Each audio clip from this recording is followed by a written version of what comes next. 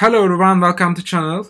We are gonna talk about TLB, which is Translation Lookaside Buffers. Translation Lookaside Buffer, TLB, is a memory cache that stores recent translation of virtual memory to physical address for faster retrieval. When a virtual memory address is referenced by a program, the search starts in the CPU. First instruction caches are checked if the required memory is not in these very fast caches, the system has to look up the memory's physical address. At this point, TLB checked for a quick reference to the location in physical memory. The TLB is sometimes implemented as content addressable memory CAM. The CAM search key is the virtual address and the search result is physical address.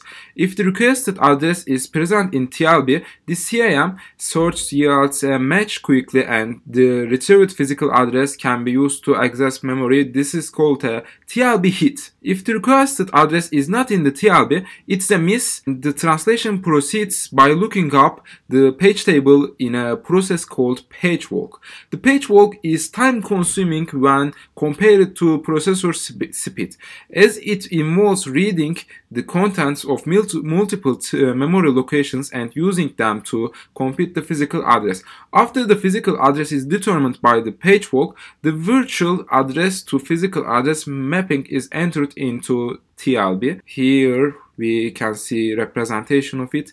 Uh, here we have logical addresses and we have physical memory here. TLB is here. If the address in TLB, it's easier for us. But if the address is not in TLB, it has to check the physical memory, which is more time consuming. It's like cache of memory addresses as we remembered from caches from CPU course. Here it's written step by step and there are two TLB management. They are hardware TLB management and software TLB management. Let's explore them.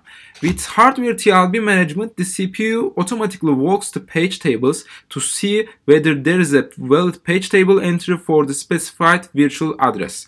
If an entry exists, it brought into the TLB and TLB access is retried. This time, the access will hit and the program can proceed normally. If the CPU finds no valid entry for the virtual address in the page tables, it raises a page fault exception which the operating system must handle.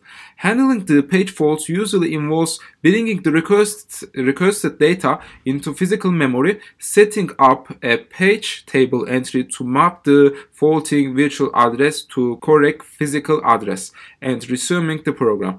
With a hardware managed TLB, the format of TLB entries is not visible to software and can change from CPU to CPU without causing loss of compatibility for the programs. Let's move on with software TLB management.